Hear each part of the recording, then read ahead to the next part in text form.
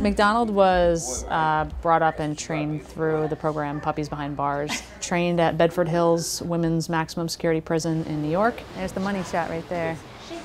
The woman who uh, raised him, the inmate uh, who we call puppy raisers, um, Crystal was with him for the first almost two years of his life, and so she taught him all the things that he knows. About a month and a half ago, I went to Bedford Hills and was lucky enough to, to get trained by Crystal as well. Uh, we got to, to learn from the, the inmates who train the dogs, you know, how to give commands, you know, what to look for, how to care for the dogs properly. Um, and so it was a pretty cool kind of, you know, all worlds kind of colliding, you know, police and, and, and prison and um, other first responders and military vets. So it was a really cool experience. You can say hi. In a general day while he's on duty, He'll, he'll just come nuzzle you.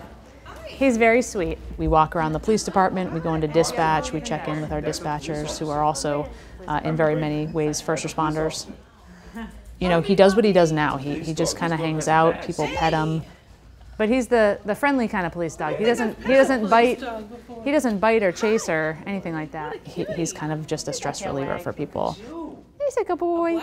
Twice a week we come to the library and we have office hours here in the teen room and uh, we get a chance to meet a lot of kids that you know either we wouldn't meet otherwise or we might, might meet in very different circumstances and so this is the opportunity for us to kind of meet on their terms and, and on their turf which is really neat Uh-oh, look who's here.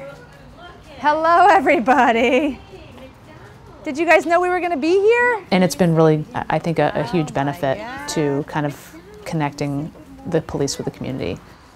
You see it when when we walk into a building and I'm in uniform and he's got his vest on. You know people don't even see the uniform. All they see is a dog and all of a Hello, sudden they're asking me questions about him or He's like, I want that truck. inevitably someone will bring their phone out and say oh well this is my dog and you know um, you know this is what I have so it, it's a really easy way to kind of break the ice you go. Nice it's very busy and we're always we're always doing something but it's always fun stuff big, it's huh? always fun to He's bring two, a dog so we'll see how much bigger he gets. Hopefully, not too much bigger.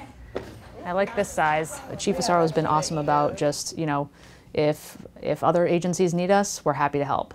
Um, so we were actually in the New London court last week for the the triple murder um, probable cause hearing, and so we were there just you know kind of being there for the family. The family was huge dog lovers, so they asked us to come back and keep coming back, and so Or we we tried to accommodate them. Or a bear. McDonald's a great distraction. He's he's great to just kind of be around. Well, you guys are going to get to read about bears today, right? he, he's doing all the work. I'm just kind of, I'm kind of there for the ride. so, but it's been it's been really uh, an awesome experience so far.